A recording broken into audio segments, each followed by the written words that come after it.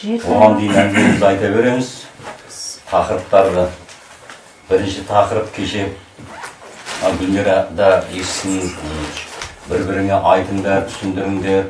Жалпы мынау көп жағдайда біздің жаңағы беріп жатқан ютубтен басқа жерден хабарлар көп әйелдер жағы көп көбіне хабарласады. Мен сізді көріп едім дейді. Ал соны көрдім үш күн тыңдадым. Енді сізбен кездесуім керек мен қамшы алуым керек дейді да. Айналайын ол болмайды бізге келе алмайсыз деп өйткені бұл қамшының шарты бар алдымен мынау бүкіл мына неменен тәнді жабу керек иісті қырық күн жабу керек деп мен айттым да жалпы айналып келгенде ол қырық күн де дұрыс емес та себебі неге қазіргі уақытта мынау осы біздің осы ортадағы қамшының дәрежесі көтерілді оған сендер ілесе алмай жатырсыңдар егер де менің артымда бірінен соң бір жыл екі жыл мына қамшы ұстаған еркектер болса біз сатыға бөлінер едік та ол кезде айтады мынау бірден уақытта мына бірінші келгендер бижанға барыңдар екінші келгендер мына не қылғандар? А, осы ата жолында шамалы күндері ол кімге барыңдар нұрғисаға барыңдар деп. Сосын тек қана құран үніне жалғанатындар немесе ең бір күрделі аурулар болатын болса онда ғана осы жоғары топқа келу керек. Осылай біз бөлінбесек болмайды. Себебі не? Көбісі ауыр болып кетіп жатыр да. Енді оның бірі не асылбекті білесіңдер ғой енді. Ата жолында жүр. Ол маған айт мен енді ы, қамшылайын сіздерді деп. Енді осы жерде болса жарайды дедім мен бір жағынан. Мына ата жолдың абыройын көтеру керек та ол түк алған жоқпын түк білген жоқпын. Сөйтіп жүргенде осы жерде маған шарт қойды ал мен қамшыламын деді да сонан не пайда болады маған деді да мен құдайға шарт қоюға болмайды дедім. Бірақ нәрсе бар мен саған уәде беретінмін ол саған денсаушылығым тек соны қағиданы ұстасаң болды деп сонымен жарайды деп кетті енді біздің қағидамыз не? Мына келген мында келгеннен кейін бірінші әруақ көтеру керек та әруақтан міндетті түрде қолдау болу керек сол үшін мына көбісі мына ата жолында жүргендер кезінде зираттарды осы қайта қайта мына құрбандықтардың артынан сол ілінбей қалды ғой оларға енді болады ал қалған ондайға көп зиратталмаған онан өтпегендерге мен айтамын көп міндетті түрде қандай болсын құран жиырма бір мың теңге құрбандық арнаңдар хатым шығарайық әруақтардан қолдау болсын деп мысалы сондайлар тезіне қалады мен оны асылбекке жасаған жоқпын. Бір екінші келген кезде енді ол мүмкін жоқ шығар мүмкін мен білмеймін ғой. Бірақ келеді да бұл ырымы бар да не нәрсеге барған кезде ырым ана зиратқа барған кезде кейде ескертеді да қырық тоғыз теңге болып тастап келдім қырық тоғыз теңге. Иманның саны ғой. Соны біз алып жүреміз тиын тиынды бөлек бөлек зиратқа кезде міндетті түрде барып құран оқығанда тастап кету керек ана жерге деп. Солай біздің топтың енді мына жерге келгенде мен айта алмадым ең болмаса бір ана автобустан қалған тиын неғып тастап кетсе ырым ғой. Сол ырымды жасамады жасамады енді сөйтіп сөйтіп та іштен ойладым. Айтайын десем мен бір одан бір ақша беріп тұрған болайын. Айтпайын десем ана қағида сақталмады. Бір кезде келіп кеше келіп хабарласады да оның арасын үзіп жіберді мен енді жұмысқа да жарамай жатым ауырып дейді да басым ауырып жатыр солай болады дедім өйткені ол сенің бәрі ауыратын ауруың. Бүгін болмасаң ертең ертең болмасаң түбінде ауыратын өзің қара қуатына келді. Бірақ соны сен тазарту өзің амал жасамадың ғой деп. Иә қатым құран оқыған жоқ иә басқа біреуін де жасаған жоқ та. Одан кейін сондай болды. Міне көбісі сондайдан құшып кетіп жатыр да. Бір рет қамшылады оның анау ана несі жетпейді жасаған амал сауап жетпейді. Көбісі не істейді енді осында келген мен талайлар көрдім қамшы өткенде. Олар жаңағы бұрынғы жасаған мынау бір рет құрбан қатын құран оқыса мен пәлен уақытта оқытып едім ғой дейді да. Міне осындай сұрақ. Мен айтамын сенің атаң сонда жеті атаның өзі сонда бір ақ атадан тұра ма? Әр атада он адам он бес адам қайсың осының бәрін басып көтерілу керек қой? Мен өз басым қайта қайта айтып жүрмін. Бізге осындай енді бір сол бір мен жұмыс істедім бір жағынан балдар да бір әйтеуір мына не, жағында жүрді машина жөндеу жағында. Бір табыс тапты да сол кездері берекет болды да. Сосын қайта қайта біресе балама көрсетеді біресе келінге көрсетеді біреу аптасына кейде екі рет құрбан шалатынымыз осы апта аптасына болмағасын біз үлгере жатқасын аптасына екі рет митинг қойды шырақ. Соның өзінде кейде екі адам басын ана келіп қо- қо- қойын шауып кетеді. Біз аламыз да таратып таратып береміз да міндетті түрде осындай қылып жаңағы хатым құран шығарып отырды. Сонымен біздің тобымыз тез көтерілді бірақ көбісі кетіп қалды. Кетіп қалатын себебі мына қоғам ондай емес үнемі мәселейіп анандай болып жүру мүмкін емес ондай жүрмесең біз ілесу мүмкін емес. Бізде енді тобымыз онша адамнан асқан жоқ та. Бірақ сөйтіп жүріп жол- ата жолының жазбасын сол сақталды ғой. Міне осындай жағдайлар болып жатыр қазір. Айналып енді гүлбайыр өзі мен вокзалдан билетті барған кезде артыма жүгіріп келді да қарасам аға мен сізді ютубтен көрдім дейді ал көрдім білдім түсіндім енді. Енді саған айтпай ақ қой дедім де көп сен айт бұл айтайын деп тұр ғой. Енді қыспақ болған іш жерде қаншама жерден барып әйтеуір шипа таба алмаған осыны айтайын деп тұр да ол белгілі ғой сөз ол жаттаған нәрсе бізге бүгін. Сол сен осы осында ордамыз бар астан ордасына. Міне осы укшда ордасы бар соған кел деп соған келді. Келді бірінші емді алды. Бірақ енді оған біз енді мына етекті әйтеуір оны да жүрдім бардым жасады. Сөйтіп жүрген сөйтіп жүрген ол ауыл болды өйткені ауылда біз оған гүлбайымызға иә қатын құран шығар ана ондай неған жоқ өзі онда әбден шашылып жүргенге не керегі бар дедім да біз енді ол жазылып кетсінші әйтеуір он бес жыл болған екен бала көтермеген осының бәрі әйтеуір реттеліп бірақ оның бәрі садақамен еді ғой. Оның бәрі ниетпен сонымен бұл кетті әумен жоғалды төрт бес ай ана ием үзілді сөйтіп жүріп бір күні көрдік кімменен ана орыстармен анау қай қырық шілтенде жүр да орамал былай тартып алған сөйлеп отыр сайрап біздің гүлбайырымыз айнаға көрсетті міне дедім ол айтады иә не дейсің қиын ғой деді да ол үйренбеген адам ол қиын болды сөйтіп жүріп әйтеуір аруақтар жетеулеп қайттан келді мақұл дедім бірақ мен бір ақ шартым бар сенде осындай жағдай мен көбінесе келтірмейтін едім сен бір ақ шартым бар мен сенің осы өмірге ұрпақ әкеліп соны соны дәлелдеп табыс халыққа бір не қылуым керек дедім. Мен бар мақсатым сол дедім. Сосын тағы да өтті. Сөйтіп жүріп күйеуі түсінбейтін күйеуі де келді. Бұлар қайта қайта өтеді да бұл тек қана сен қуатты сіңіру үшін бұл адамда тек қана бір ғана жүректен тұрмайды ғой дәл бүкіл біздің қолымыз аяғымыз тырнағымыз бәріне қуат керек та. Әр бір қырық бір пристава қырық бір түрлі ерекше қуат керек бізге. Міне қайбірін қырық жылдан дейтін себебі бізге қырық бір жиіліктегі қуат керек соның өзінің орындары бар. Соны пір деген кие. Мына сиырдың бірі біз сиырдан қуат алуымыз керек зеңгі баба мінекей зеңгі баба жылқының пірі қамбар ата мінекей. Шопанның қойдың пірі шопан ата. Ешкінің пірі өсіп кете берді мал бүкіл кие мынау тұрған тау тас бәрінің киесі бар да ең болмаса қырық екінші мына арамдық нәпсінің бәрінің пірі ол ібіліс мінекей. Осының бәрін қазақта тұр ғой пір деген сол енді. Біз сол кебіктерге жалғануымыз керек сол кебіктер жан жақты болу енді соған мына біздің қазіргі ата жолын жалғызымыз оған сенің ана білген неңді тіліңмен сөз шығару бірінші сөз кие сөзден жалған. Сен оны білгеніңді жұртқа айтып жұртпенен жұрттан біреуден сөгіс естіп біреуден боқтатып сен ананы сен ана жүрегің ана қарақшылық қалапқа да соған бейімделу керек. Сен оны жасаған жоқсың мен топқа тұрдың қашып кеттің анда санда біріне барады біреу еркек ей десе бұл неге әй дейді бұл деген сыпайы топ қой деп бәрі жабыла тастады да енді. Мен оны ол да өз басымнан өтті бір уақытта жүрек ашылған кезде әйелім біреу бір сөзінен менің жүрегім жарып кетеді деген мынаны неге айтты деп. Соны ойланып ойланып ой бұл кімді айтып жүретін сөз ғой деген ой келді да сөйтіп барып мен енді соны жаттығуды ойладым. Ол қалай осы топ кезде ата жолының бәрі боқтамайтын адам жоқ. Бұлар деген сектант бұлар деген жұрттың ақшасын жинап алып деген сол әңгіме сол топтарға өзім кіремін да жүз адам кіресін ол ақырында мен шыдамаймын тек ағыл жамандайды соларға шыдамаймын аруақтарға тіл тигізеді соған шыдамаймын. Қалған маған жағыңа жылан жұмыртқала десе әумин дейтінмін да. Өзімді өзім үйреттім сөйтіп. Ана боқтайды әке шеше жас балаға дым қалдырмайтын да. Сөйтіп жүреді да енді болмағасынан ызаланған уақытында мына мәдинада мұхаммед неде маңғыстауда пір бөкет түркістанда құлқожа ахмет пірім бабам арыстан бабам аруағымен мыналарды атып өтті деп сөйтіп неғылатын содан кейін маған түктібайды ескертті енді доғар ондайын деді. Да неге демем енді? Мені анау енді өшімді қайтарым иманыңды жоғалтасың деді да. Сосын қойдым. Міне ол да болмайды екен. Мен сөйтіп сөйтіп ана жаман сөзге үйрендім да.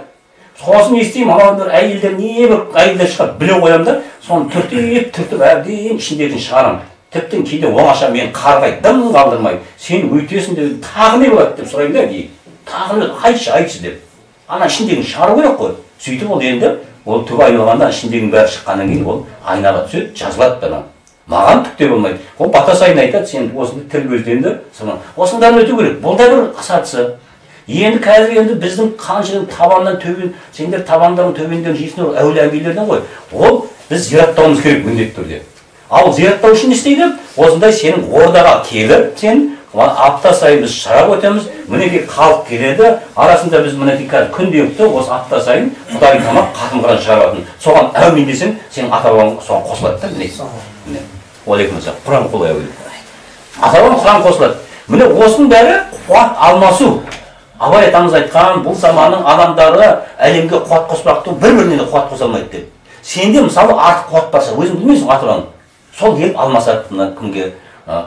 Гүлмираға гүлмирада тұрған саған керекті қуат бар. Бұл енді бала туған қатын ғой қанша дегенмен. Соны қуатты ананың орнына саған алады міне осыдан құда алмасу деген осындайдан тұрады бұл ата жолы деген сондай. Сен әр бата алған сайын сол батаменен тағы қуат қосылып отырады. Мен соны күйеуіңе де түсіндірдім өзіңе түсіндірдім. Соны айтсам енді дейді мен ана бұрын ыстығым бәрі анау кетті мынау сол жағыма ауыс деп ананы тағы соны қайталап жатыр мен не істеуім керек қаншауым керек. Ай мен соны мен саған айтып отырмын ғой соңынан қуып жүрдік деп. Сөйтсем бұл қоймайды неге сосын айтады енді сонда мен онда тек қана ақшамен баруым керек па деген сөз сосын алдым да ғажаптандым кеше. Алдым да болды қойып қойдым. Ал енді отыр деп. Кешегі өзі жетіп келді оны айнұрға да айтқан жоқпын. Артынша бір екі сағатта жетіп келді көрдің ба? Телеге болады екен да? Қалай жүгір жетіп келдім. Жетіп келіп кешірім сұрап кетті құранға қол қойып. Міне құқығатқа жалғанды қайттан міне осындай не ол осының бәрін міне қазір халыққа түсіндіру керек. Мынау қазір әбден орда дегеннен әбден сондай жирендіріп қойған да оны өйткені өзі аққулар барған жерде ақша сұрайды анда барса мынаны сұрайды бәрі өзі садақамен болады әркім өзінің ниетімен болады. Бірақ садақасыз тағы да болмайды. Сен садақасыз жүр деген ол болмайды. Ана келеді да сарт еткізіп жинаған нәрсең өзіңе келіп соғады сөйтіп оның қиындығын кетіп қалады да. Сондықтан қазір біздің мақсатымыз сендерді осындай тек қана осы қамшыны өткізіп тек емес бұл біз зираттауымыз керек. Бізді әрқайсымызды кімді қайда шақырып тұрған біз білмейміз да. Міне қазір білмей араларында тұр. Кім айтып отыр? Бижан айтып отыр мен қабанбай батырдың ылғи несін аламын дейді белгісін аламын дейді маған да түсті ғой қызылордадан түсті. Бір шоқыр бар сонымен сен табасың деп тұр да. Енді бұл енді шоқырлық несі бар ғой? Кеше тағы біреу келді кім біледі қайсысынан сондай сондай қасиеттерді ашады да сауап жасатады алла тағала ұқымда не қалдырады енді қазір неғып жатсам мен енді бижан естідім қолымда қайтадан ана нелері экзаменге қайтадан шыға бастады дейді неге шықпайды шығады міндетті түрде өйткені неге жүрген жеріңде қазір бұның қағидасы сол ғой тек қана қадаласпен қоректену сен кез келген жерде тамақ жейсің әрине ол деген ана арамас деген жұрттың тырнағымен ұстайды дәрет жоқ ол түгіл мен ана баланың ұстап кеткенінен біліп қоямын да дереу ішімнен қыши бастайды кәдімгі аскарида кіргендей түсіне бастаймын үйге кірген мысалы бүгіннен тамағым мен мазам кете бастады. Өйткені сендермен бір иіс келеді бәрі ана ол асхананың үстінен өтіп жатыр бірақ онан амал жоқ оны соған көре керек мен жеке өзім бір өзім тамақтанғанның өзінде де соған кесені кім істеп қойып берсін анау деп арбасып отырамын. Сендер ондай дәрежеге жетпегенмен де сендер қазір қамшыдан өткеннен кейін аққуат енгеннен кейін сол ақты аңдиды ғой кіруге иіс деген кез келген иіс жалданады сақтану керек. Құдай сақтансаң сақтаймын деген. Енді сен оны сақтансаң бұл уақытта сен жазып кетер едің. Енді сенікі іштеу емес. Ана бағдаттан сұра. Денесінің бәрі таңба болып кеткен жазылмайды деген. Қазір қарашы қандай ешқандай жоқ. Жазылды. Неге жазды құдай жазды оны. Ол кім өзінен сұра енді ол қаншама қиналды. Бетінен бәрі бояу жағып алатын көшеге шыға алмайтын тұғын ғой бетінің бәрі алапес болған енді қарашы қазір жап жас келіншек сияқты болып жүрген. Енді осының бәрі құдайдың хикметі ғой болып жатқан. Мысалы кім сияқты? Гүлфайыр сияқты бұдан да кешке біз ана астана болды күйеуін деген кезінде дашада шеккен бір жалғыз баласы әкесі айтты сосын мына келінді құрт бұл тумайды сөйтсе оны детский матка тумайды деген ғой оны болды. Тумайды мынау деп. Соны бізге келіп төрт жыл жүрді аруақтар туады деп. Біз өзімізді бір жыл өтті екінші жыл өтті жоқ жоқ аны біз кезден кірдім деп білмейміз ғой біртебір солай тәжірибе үйрендік қой. Сөйтіп жүріп төрт жылдан кейін бала көтерді деген бәріміз қуанып кеттік. Ешкімге айтпа ешкімге айтпаңдар деп кәдімгі осы сөйтіп жасадық. Енді сен де білдірме үйіңнен шықпа деп ана шынымен тіл көз болмасын деп. Сол ақырында ол бала өмірге келді ол шыраққа қатысып тұрды. Бір жыл жеті ай ма сегіз ай болғанда тағы көтерді екі жылға толған жоқ әлі емін келіп жүреді соны тағы туды мінекей енді ана баланың қасиетін көшеде ойнап жүрсе тақиясын біреу алып кетсе ана жерде жылап отырады екен әжесін шақырады екен әжесі барып ана тақияны барып тауып әкеліп басына кигізеді. Неге сен өзің барып алмадың десе маған орнымнан қозғалуға болмайды дейді. Тақиясыз қарашы. Енді сол қасиет қой күйеу әулиенің берген маған тақиясыз орнынан қозғала болмайды. Әкеліп бересің дейді. Жұрттың бәріне ол тақиямен ойнайды дейді басында. Бас киімсіз далаға шықпайды дейді. О осының бәрі қасиет қой. Енді екінші ол бөлекше болды сөйтіп тұрған кезде тағы үшінші рет көтерді. Бәріміз енді бірінен соң бірі жаны екі жылға жетпейді. Үшінші рет көтерді де енді ана пенде ғой. Қайта қай ол жеті бала туасың деген. Енді қыз тусам екен деп барды да барса ұл келіпті бұл сосын осыны тағы да сенбей енді бізден сұрады әруақтардың хикметі ол қалай мен қыз тусам екен дейді аталар маған қолдау берсе екен деп сол жалбарынып жүр ғой. Сол босанарға бір он күн ба он төрт күнге тағы өткен екен айтты мінекей ана көріпті ғой мүшесін деп. Көрсетті ұл туасың деп. Соған бізде үйде келін айтады ой ол не ұл тумайды деп. Үйдегілер де айтады ол хикметі болады деп айтты деп. Соны туған кезде қыз туды да жұрттың бәрі таң қалды ол қалай сонда медицинада көрініп тұр ғой. Соны он төрт күннің басында мүшесі өзгеріп кетті ме дейді да жыныстық сол бұл да хикмет хикмет болады енді әкесі анау келін кетсі маған керек емес деп жүрген. Әкесі айтыпты сендер не ана балалар ата ата деп әруақ қоя береді мен мен қоймаймын ба енді атын депті енді. Атын мен қоямын дедім ғой. Сосын айтты жоқ мына оның атын ақбұлым деп әруақтар қойып тұр десе жоқ мен қоямын депті. Сосын не істепті? Жаңағы әжесі алыпты да өзі басқа ұзағашта жұмыс істейді алматыдан. Соған барлығын кім қоясың ал? деп бәрін жаздырып аттарын. Сөйтіп қағазға салып та апарып мінекей мынау сенің мына осы бәрі өздерің аттарын қойды. Сен де өзің атыңды жаз да осыны сал деген. Сосын салып араластырып алып ал енді ал десем ақбұлым шығыпты дейді. Жоқ болмайды депті тағы аламын депті. Мақұл депті тағы араластырады тағы алып қалса ақбұлым шығыпты дейді да екінші рет жоқ үшінші рет аламын деген сосын айқайлап та әжесі. Ей сен еркексің ба ол екі рет алдың ғой болды ғой болды деп. Ана ақбұлым қоямыз деп. Соның ақыры сол ақбұлым болып кетті мінекей мойындады міне осындай осындай хикметтер біз болады осы хикметтер қазір біздің арамызда да болады мінекей. Бұны не айтып жатқан мысалы гүлбайрыз неге айтып отырмын? Гүлбайрыздың тағдырын білсе бәріміз тілектес боламыз да міне ниеттес. Ішімізден тілейміз. Гүлбайрыздар осы бағыт болса екен деп. Сондықтан сен көп көпшіліксіз біз өсіп өнбейміз. Ана халықтың алдында болу керек атасының жақсылығымен қызмет жасай беру керек. Міне. Араласу керек. Қазір осының бәрі көбісі естиді да ана менің сөзімді естиді ютубтан. Ой қамшыласақ кәрмәт болады екенбіз дейді да. Тағы біреу айтты мен дейді келін кетіп қалды дейді. Сіз осы былтыр түс жорып едіңіз сол жақсы болды мен танымаймын ғой мен енді. Сөйтсем айдан түрін көрсең қол деген мынандай шаш деген қиып тастаған көрініп тұр ғой енді құйрығы да кәдімгі кетіп қалған көңілі. Кемпір өзі не құрдас деп қояды меніменен. Қай жақтағы құрдас ол мен шайтанмен құрдас боламын ба? Мен өлетін адаммын ғой ол өлгісі келмейтін адам сосын мен не болды десем осындай мен түсімде көрсетіп жатыр келінім үйде жүр екен несін жазып қосылса екен деймін балам алғысы келмейді дейді мен айтамын осының бәрі не ол өзім жаздым менде де сондай болған да басында а бір бірінші ортаншы ұл үйленді ол сосын ана келін сөйтсем оның тұқымында да бар ана кәдімгі атылып тұрғандар көбісі қыздардың бәрі байдан шыққандар екен да сол мынау енді кемпірдің асыраған бізге келді бұл да атылып тұр біздің ұлымыз онан өткен жынды. Сосын сол ұрып қоймасын деп мен аңдыда жүрдім. Сөйтіп жүріп аңдып жүргеннен үйдемін ғой мен күнде. Сөйтіп жүрсем бір күні ана сендерге тіл тиді да ана көзге келіп қалыпты әшейін түрте салдым дейді ай түрткені осы ма сосын ол қыз алды да әкесіне хабарласқан соны әкесі келді. Айналайын біз сендерді қосу біз қосуға жүрміз ғой десем мен айттым да енді ол біздің екеуі де жынды енді. Біз екеуін бір қосу керек жоқ ішке сыйған бала сыртқа сияды деп дауыстай берді. Осындай осындай бір екі рет кеткен анау сонысы болды да мен ашуланып ордаға барып отырып алдым алла тағала алла тағала осыны бір шешім бер деп дұға сөйтсе ол үйіне жетпей ана алған жаңа машинесі бар екен аударылған қайта алған үйіне барғанда анау жұмысы анау редакция ол да сынған талай енді ана қайтып келген қыз жаман деген көрсеткен қалай болатын?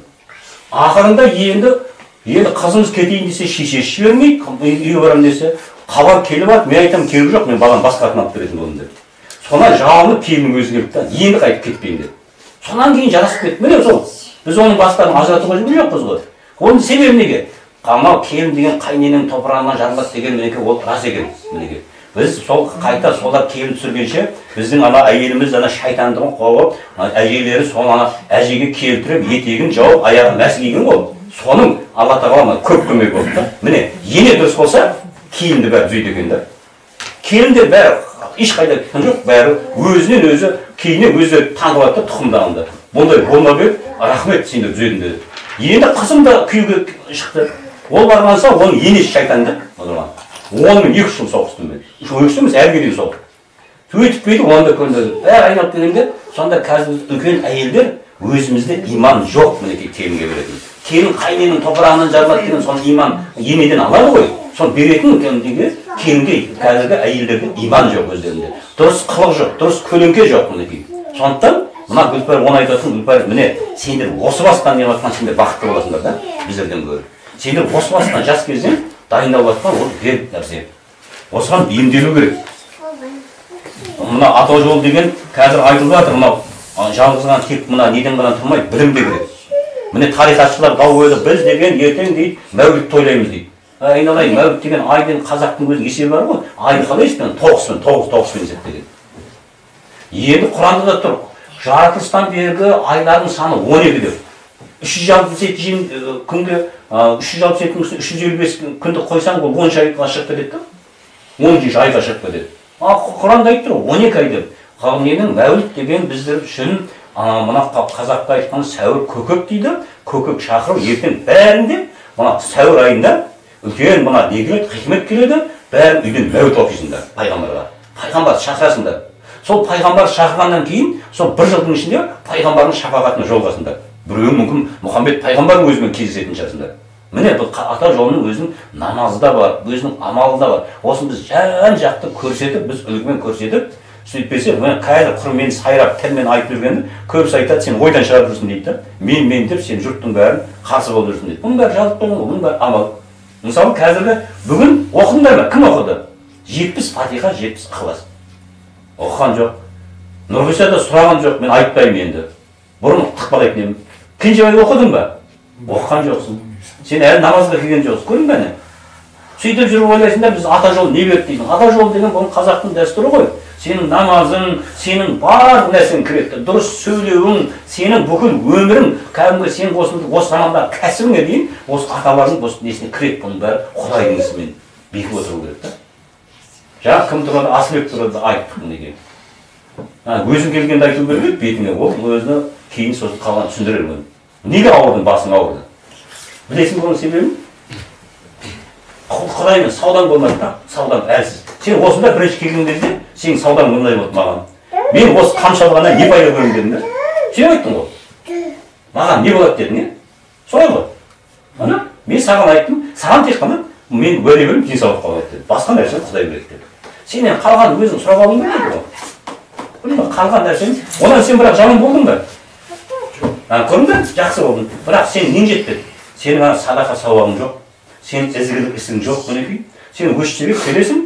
Осы бір мына бір поликлиникаға тіркеп қойған адам сияқтысың да. Оның өзінде де поликлиникаға тіркеп қойсаң сағат екіге сен екіде баруың керек та а сен бір екі күн болсын кейде бір әпейден бір екі күн алатын болсаң үш төрт күн жоғалып кетесің бұрынғы жағдай ондай қағида жоқ тұғын сен екі күн келмедің ба мен құраннан сұрататын тұғым қабылдаймыз ба қабылдамаймыз ба деген бірақ біз ол тәртіпке қойып жатқан жоқпыз түбі сол тәртіпке келеміз сендер білмеймін қазір аз болғасын үндемей жүрмін көбілерің бала айтқан осы қатысумен жүре алмай қаласыңдар да міне кеше сол гүлпайрызды шығарып тастайын дедім қалай бірден әшейінде айлап жете алмай жүр еді кеше екі ақ сағаттың ішінде жетіп келіп тұрмын оны айналып айтқан жоқ болады ғой келуге болады сонда сендер осы жерге әруақтар күтіп тұр өздерің ата бабаның әруақтары осында келіп тұр міне құранға қол қойдыңдар осында тілектерің осы жерге келіп тұр бір біріне қосылып тұр міне құран оқыған кезде сендердің арттарыңда тұрған әруақтарың да әумин дейді. міне тұрған топ қой құдайменен осылай қосыла береді қосыла береді міне біздің бір бірімізге солай қуат береміз айналысамыз.